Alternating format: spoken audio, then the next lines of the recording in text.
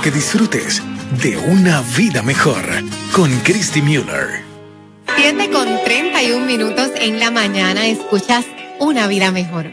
Bueno, mis compañeros, hoy quiero compartir algo que me parece que es sumamente importante para todos nosotros. En el libro de Isaías específicamente hay una promesa para todos los que somos iglesia. Es una promesa que tiene tres puntos importantes.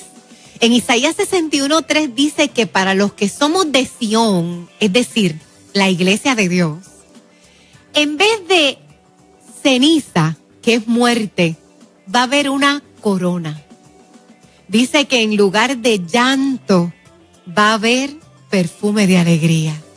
Y en lugar de desesperación van a haber cantos de alabanza. Mis hijos, esa es la promesa de nosotros. y está tremendo, ¿verdad? En lugar de ceniza yo voy a tener una corona. En lugar de llanto, en lugar de desesperación, en mi casa lo que van a ver son cantos de alabanzas. Hay unas promesas tan lindas de Dios, pero la pregunta es, ¿cómo yo las alcanzo? y hoy vamos a estar hablando acerca de cómo yo puedo alcanzar esas promesas que Dios tiene para mí en mis momentos de dolor. Y quiero hoy tener un texto tema que lo vamos a desmenuzar Salmo 42, 11. David dice, ¿por qué te abates, oh alma mía? ¿Y por qué te turbas dentro de mí? Espera en Dios, porque aún he de alabarle, salvación mía y Dios mío. Esto es un salmo tan conocido, pero hoy vamos a exprimirlo. Abatido y turbado, así estaba el alma de David. ¿Qué es abatido? Abatido es cuando tú pierdes el ánimo, cuando tú pierdes las fuerzas. Muchachos, definitivamente en algún momento en nuestra vida o muchos, muchos momentos de nuestra vida, nosotros nos vamos a sentir abatidos. El, otro, el otro estado en el que está el alma de David es turbado. Y esta palabra es bien importante porque esta palabra habla de confusión, habla de estar desconcertado, no sé qué hacer y ahora qué hago. Y definitivamente cuando David le habla a su alma y le dice, ¿por qué estás afligida? ¿Por qué estás turbada? David me está hablando de un momento difícil en su vida. Y lo primero que quiero señalar, porque hay cuatro puntos que son los que quiero compartirte hoy, es que nuestra vida es como una tómbola, ¿verdad? De hecho, mi mamá cantaba una canción cuando era joven que decía, la vida es una tómbola, ton, ton, tómbola me está, Juan me está diciendo que se la sabe. Joel y yo, pues quizás no nos la sabemos. Pero es como eso, es que, es que está dando vueltas, ¿verdad? Nuestra vida da vueltas. A veces estamos arriba, a veces estamos abajo y nuestra alma es susceptible a eso. Un día estamos bien económicamente, tenemos trabajo, otro día no tenemos para pagar la casa. Un día estamos en salud, otro día llegó la enfermedad un día estamos bien en una relación significativa, el otro día pasó algo. Entonces, obviamente, nuestra alma es susceptible a esos cambios que se dan. Quiero contarles una anécdota que me encanta. Es una anécdota y escúchala bien porque para que para entender el punto hay que seguir la historia. Había un rey que tenía un una gran un gran palacio, ¿verdad? Dice la anécdota. Y un día unió a sus sabios y les dijo, yo necesito que ustedes creen un mensaje para mí, que a mí me ayude en un momento de mucha turbación y de mucho dolor. Los sabios se reunieron y estuvieron meses pensando cómo en una sola oración nosotros vamos a crear algo para el rey que le pueda ayudar en un momento de turbación. Hasta que descubrieron que era lo que iban a decir. Entonces anotaron eso en un pequeño pergamino y lo pusieron en un collar y ese collar se lo pusieron al rey. Y le dijeron al rey, rey, usted no puede leer lo que dice ahí hasta que llegue un momento de extremo dolor o un momento de extrema alegría. Pasaron los años, el rey no leyó lo que decía el collar, pero un día invadieron el palacio, mataron a muchísimos de sus súbditos, él perdió muchísimo, quemaron su, su palacio, bueno, horrible. Y el rey se trepa en una colina, listo para quitarse la vida. porque estaba en un momento de mucha turbación, de mucha aflicción y creía que ya había llegado el final. Cuando entonces recuerda el collar y dice, antes de quitarme la vida voy a abrir el collar. Abre el collar, lee lo que está dentro, lo cierra, llora, respira y se va y no se quita la vida. Pasados los años, el rey logra reconquistar más de lo que tenía antes. Ahora tiene multiplicado muchas más riquezas, muchos más súbditos, está en lo mejor de su vida. En ese momento el rey está bebiendo y gozoso y empieza a decir, miren todo lo que yo he logrado. En ese momento uno de los sabios le dice, rey, es tiempo de que abra el collar nuevamente. Y el rey lo mira, está en su mejor momento. Y luego abre el collar y ahí estaba la nota, la misma que había leído. ¿Qué decía la nota? Decía, este momento que estás viviendo, oh rey, también pasará. Qué increíble, en los momentos de peor dolor, ese momento va a pasar. Y en nuestros momentos de mayor éxito, ese momento tampoco dura para siempre. Y esto era algo que David sabía. David reconocía lo que era ser aclamado por muchos y estar en el anonimato eh, ah, como las ovejas. David sabía lo que era ser alabado y sabía lo que era ser perseguido. O sea, David sabía que la vida tiene ciclos y que su alma era sensible a ellas. Y es lo primero que yo te quiero regalar hoy. Yo no sé si tú estás en un momento de mucha aflicción, pero yo quiero asegurarte que este momento, aunque dure, también pasará. Lo segundo que quiero regalarte es que David, fíjate que él no decide ir a donde otra persona para que le hable a su alma. Él no va a donde uno, un amigo, ni donde un profeta decirle, háblale a mi alma. No. Él muestra una madurez especial. Yo no estoy diciendo que no vayamos a otras personas. Hay momentos en los que tenemos que ir. Pero mire, yo no puedo depender de otros toda mi vida. En mis momentos de aflicción también yo tengo que hablarme a mi alma. Esa es una autoridad que Dios me ha dado. Y me encanta que David se habla a sí mismo y le dice, alma mía. Yo me estoy hablando a mí porque me habla de que yo tengo una relación tú a tú con Dios. O sea, yo lo que conozco de Dios no lo conozco a través del pastor. Yo tengo una relación con Dios, por lo tanto, en mis momentos de dolor, mi dependencia total es de Dios. Repito, eso no significa que no pueda ir a donde mis consejeros, a donde mis pastores. Lo que significa es que no puede depender mi vida de eso. Lo tercero que me llama la atención es en qué David basa la conversación. Esto me encanta. Fíjate que David dice, ¿por qué te turbas? Espera en Dios, porque Él es mi salvador. Me encanta, David no está hablando de él.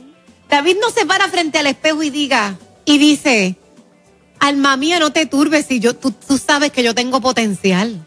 Si tú sabes que yo soy un hombre fuerte. Si tú sabes que yo puedo con esto. Él no habla de sí mismo ni de sus habilidades, porque todos sabemos, muchachos, que en momentos de turbación y de dolor yo no soy suficiente. Esa mujer poderosa se cae para acá en el suelo. Y en esos momentos David me recuerda, cuando yo le hablo a mi alma, yo no le hablo a mi alma de mí, yo le hablo a mi alma de quién es Dios. Y me encanta porque si nosotros vamos a, Salmos de David, por ejemplo, el Salmo 18 que me encanta, él le dice, tú Señor, tú eres mi fuerza, yo te amo, tú eres mi protector, eres mi refugio, eres mi libertador, eres mi Dios la roca que me protege, mi escudo, el poder que me salva, mi alto escondite. O sea, David habla de quién es Dios en su vida. Y si yo en mis momentos de angustia y de dolor, yo puedo apelar a quien ha sido Dios. Y yo creo que es tan importante esto. Miren, muchachos, yo en mis momentos de profunda angustia, mire, yo empiezo a hacer memoria de lo que Dios ha hecho. Por ejemplo, ayer le estaba contando a mi congregación yo tengo un primo un primito que amo con mi corazón porque lo vine a hacer. Recuerdo hasta el día, la noche en que de madrugada me despertaron. Kitty, el nene. Se llama Jared Vincenti Monroso. El bebé más bello que había visto en toda mi vida. Y Jaredcito a los tres años se comió un montón de veneno de ratón. Se llevaron al nene corriendo para el hospital. Y el médico habló con mi tía y le dijo, Lourdes, este es el proceso porque es demasiado veneno y él es demasiado pequeño. Él va a comenzar a sangrar por todos lados, boca, nariz, oídos. El bebé está explotado por dentro y va a morir. Yo recuerdo, y yo era pequeña porque yo lo que le llevo a Yaret son como siete años, o sea, cuando mi tía llega a casa llorando porque habían desahuciado al bebé y tras una oración poderosa a mi Dios, mi protector, mi libertador, mi torre fuerte, mi pronto auxilio, el doctor le dice a Lourdes, yo no sé a quién tú le has orado, pero tu Dios ha salvado a tu hijo. Y cada vez que yo veo a Yaret y veo ahora a su bebé, porque tiene un bebé bello, se llama Mateo, yo tengo que hacer memoria de que mi Dios es poderoso. En mis momentos de dolor yo hago memoria de los testimonios. Yo hago memoria, Señor, tú, eres esto en mi vida. No importa si yo no puedo. No importa si yo soy frágil. Es mi frágil vida en tus fuertes manos. No se trata de mi fragilidad. Mire, le voy a decir más. Esta palabra yo sé que es para alguien. No se trata de tu locura se trata de su estabilidad mental. Yo quiero que tú puedas entender que tu estabilidad emocional, espiritual, física, tu vida, está estable si está en las manos de Dios. Porque no se basa en nuestra fragilidad, sino en quién es Él. El otro punto que me gusta mucho es que David no le está dando un consejito al alma, le está dando un mandato. Y eso me encanta. Él le dice, espera en Dios. Dios nos ha dado la autoridad, muchachos, para que nuestra alma no nos gobierne a nosotros, sino nosotros gobernarla a ella. Y me encanta este espera en Dios. Cristi, vas a esperar en Dios. Ay, estoy preocupada. Vas a esperar en Dios. Es que esto no se arregla. Vas a esperar en Dios. Es que esto no cambia. Vas a esperar en Dios. Este es el mandato que te estoy dando. Dios me dio autoridad y yo la voy a usar. Me encanta este David. El frágil pero obediente David. Hay un libro que estoy leyendo que me encanta se llama Un verano en Villafé. Y de ahí saqué una cita que me marcó. Dice así, la voy a leer. He aprendido que con Dios, no solita, jamás una desgracia será la última noticia. Con Él, al final todo saldrá bien. Ey, y si no sale bien, es que todavía no es el final. Y esto me habla, muchachos, hasta de la eternidad. Porque una enfermedad terminal puede ser final para ti, pero hey, con Dios todo sale bien. Ese no es el final, hay una eternidad. Esto es una promesa de Dios para nosotros sus hijos. Esta es la promesa que nos dio en Isaías. Yo cambiaré tus cenizas, yo cambiaré tu llanto, tu desesperación por corona, por canto de alabanza. Por último, hay una cita de David Nicolás que dice, las promesas de Dios son como las estrellas. Cuanto más oscura es la noche, más fuertemente brillan. Y esto parece una metáfora muy bonita, pero yo no sé si ha sido la experiencia de mis compañeros, pero yo nunca he conocido y he sentido más a Dios que en mis momentos de mayor turbación y de mayor aflicción. Y quiero terminar con este punto que está en Mateo 11, 28 y 30. Para alcanzar la promesa de Dios en medio de mi angustia, dice, vengan a mí. Me encanta. Dios no va a ir a mí. Dice, ven a mí. Joe, Cristi, Juan, vengan a mí. Todos los que están trabajados y cargados.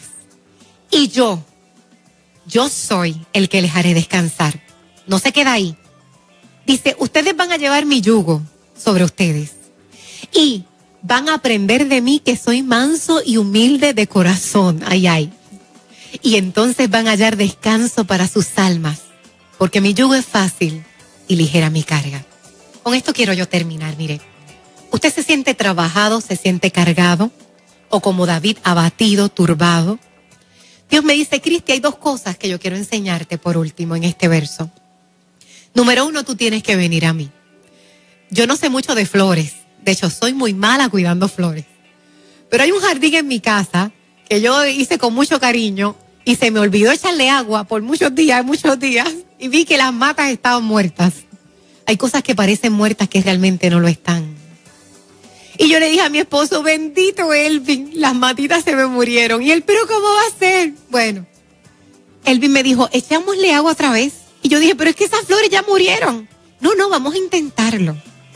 Y así que comencé a echarle agüita. Y unas semanas después, vi las flores otra vez, hermosas, con un color precioso. ¿Y saben lo que hice, verdad? Me puse a llorar como una boba en el balcón, porque me acordé de mí de las veces que me he alejado de Dios y he sentido muerte.